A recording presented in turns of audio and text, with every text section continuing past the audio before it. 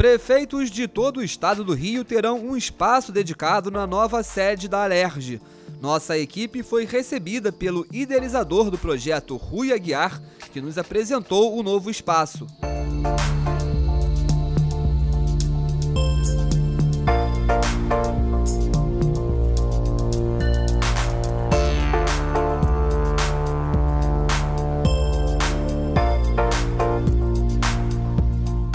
Aqui na nova sede da Alerj, um novo espaço foi recentemente inaugurado, nomeado como o Gabinete dos Prefeitos.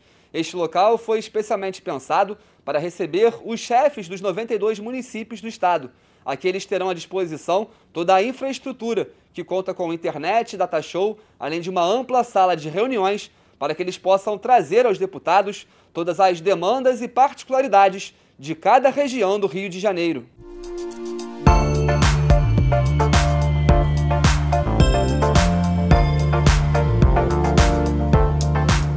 Uma determinação do presidente André Siciliano é essa integração dos executivos municipais com a Assembleia Legislativa. Algo que, pela primeira vez na história nacional, uma Assembleia Legislativa tem um espaço dedicado somente aos prefeitos.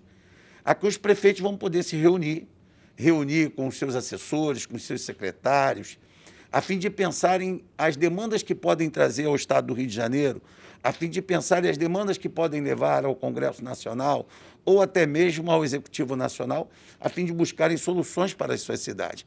Um espaço amplo que nós colocamos à disposição secretárias, um setor de informática com impressora, com internet, computador, um atendimento de excelência.